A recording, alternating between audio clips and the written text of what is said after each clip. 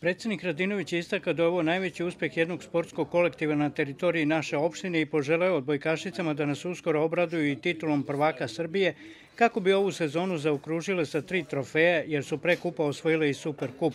Prvi čovek opštine je dodao da su svi u opštini ponosni na ovaj rezultat koji su ostvarile odbojkašice, jer su one najzaslužnije za osvojen trofej. Ovo je najveći trofej u istoriji Stare Pazove koje je jedna ekipa, sportska ekipa donela u Staru Pazovu i mi smo kao opština koja zaista ulaže maksimalno i napore i sredstva da razvijamo sport u, u najviše, na najviši mogući nivo, tako da ovaj, zaista devojkama čestitam, a naravno očekujemo i ovaj trofej koji je još veći i značajniji vrlo brzo da ovaj, ponovo donesu Staru Pazovu i naravno ponovo jedan prijen i ponovo lepe poklone za ovako devojke koje su izuzetno vredne i koje postižu najveće rezultate što se tiče naše zemlje. Bila je to i prilika da predsednik Radinović uruči poklone igračicama, stručnom štabu i članovima rukovodstva. Ja bih se da se zahvalim opštini Stara Pazova, koja već godinama unazad vodi računa o svim sportovima, pa samim tim i odbojci. E, prija je kada se osjećate da u jednoj opštini ste na prvom mestu i da beležite najbolje rezultate od svih sportova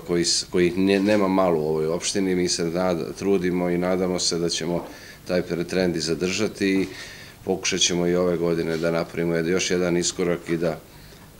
treće odličje za ovu takmičarsku sezonu donesemo u Staro Pasu. Jovo Caković, trener jedinstva, je podsjetio na prijem kod predsednika opštine od prošle godine u maju, nakon poraza u finalu play-offa u borbi za titulu prvaka države, kada su svi u klubu bili tužni zbog poraza u finalu, ali i srećni jer su igrali jednu takvu utakmicu. Ja sam neko ko mnogo obećava,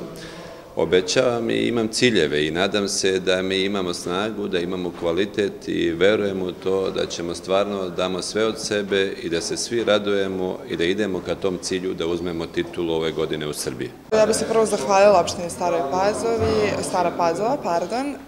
mislim da bez tih rezultata mi ovde ne bi bile danas, tako da bi čestitala mojim devojkama što smo ostvarile taj uspeh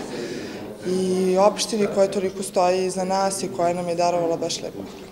Odbojkašice jedinstva, međutim, nemaju vremena da slave jer ih već u subotu očekuje novo iskušenje, a to je derbi 17. kola Superlige i meč sa Crvenom zvezdom u Staroj Pazovi, bez obzira što je obezbeđena prva pozicija pred play-off.